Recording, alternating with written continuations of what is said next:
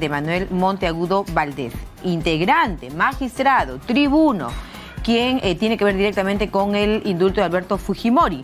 Como es de su conocimiento, se ha declarado la nulidad del oficio pedido por parte de autos e incluso de eh, sentencias del Tribunal Constitucional en una decisión que excepcionalmente, por razones objetivas, ha sido aceptada, señala.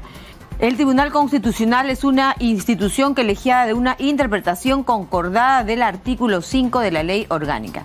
Siendo ello visto, el auto de la fecha 4 del 12 de 2023 incurre en una objetiva causal de nulidad al haberse al haberse pronunciado sobre el asunto que en ningún momento fue sometido a conocimiento o deliberación del Pleno. Claro, porque él señala efectivamente que no estuvo considerado para esta decisión, ¿no? La orden de remitir los actuados al juez de, de ejecución del habeas corpus a fin de que proceda conforme a sus atribuciones contenidas en el punto resolutivo número 2 en efecto, el referido auto tuvo como antecedente la expedición del auto de fecha 21 de noviembre de 2023, que tal como deriva sus vistos, se ocupó exclusivamente de los pedidos de aclaración presentados por el Procurador Público a cargo de los asuntos judiciales del Poder Judicial y por el abogado defensor de beneficiario de Alberto Fujimori, a propósito de la sentencia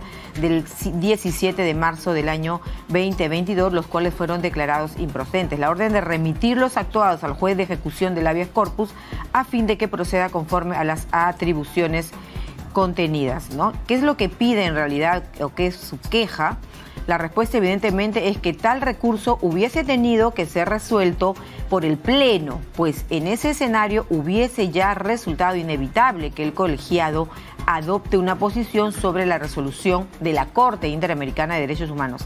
Así lo que ha ocurrido es que tres magistrados han confundido la competencia que tenían para resolver un recurso de reposición planteado contra un auto que resuelve prácticamente él se da por eh, excluido, ¿no es cierto? En, el caso de la resolución, además precisa que eh, según la aclaración con la competencia para adoptar una posición institucional acerca de los alcances jurídicos de la resolución de la Corte, lo primero podía alcanzarles sobre a ellos y definitivamente es una queja la que él presenta. ¿no? El asunto más grave es que se tiene a consideración que uno de los tales magistrados se encontraba objetivamente impedido de votar en la decisión del auto de fecha 14 del 2 del 23. Pues como es de público conocimiento, ante la propia Corte Interamericana había adoptado una postura favorable al indulto concedido.